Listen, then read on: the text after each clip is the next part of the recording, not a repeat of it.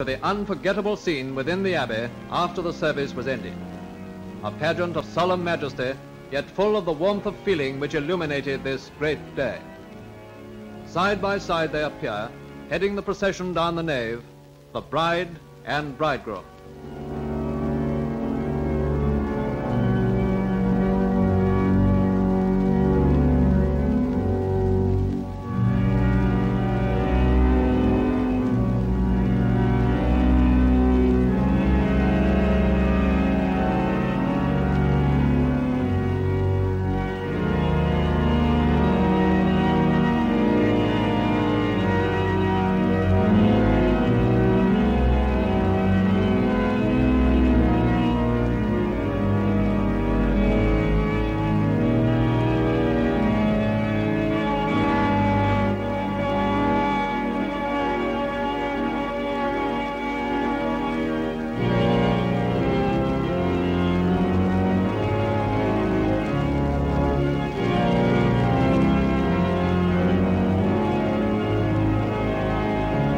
Following their majesties, the king and queen, came the royal guests from other lands. Among them, the queen of the Hellenes, King Haakon of Norway, the king and queen of Denmark, King Michael of Romania, and the young king of Iraq.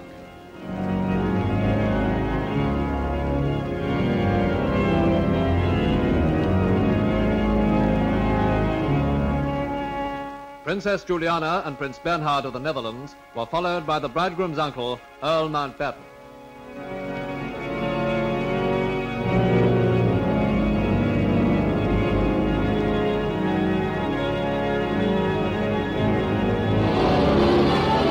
Outside the abbey once more, and as the wedding chimes peal forth, the bridal coach awaits the royal pair.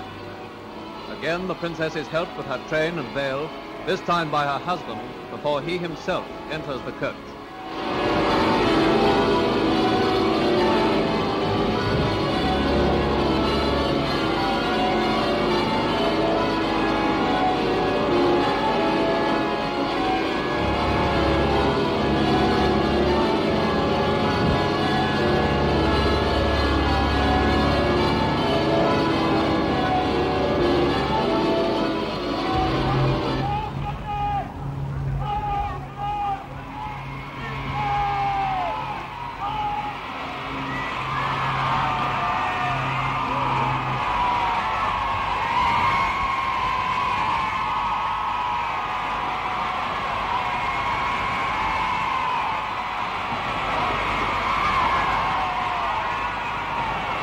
Leading the joyful procession up the Mall, the bridal pair received a welcome which came from London's very heart.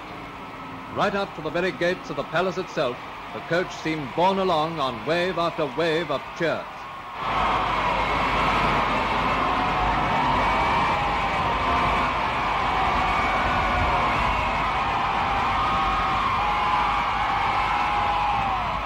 By this time, the enormous crowds had grown still more vast.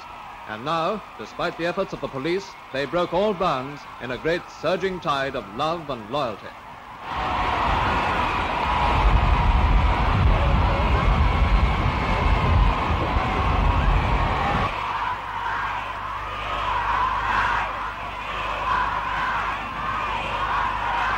Before long, the calls of the people were answered as onto the famous balcony came the bride and bridegroom.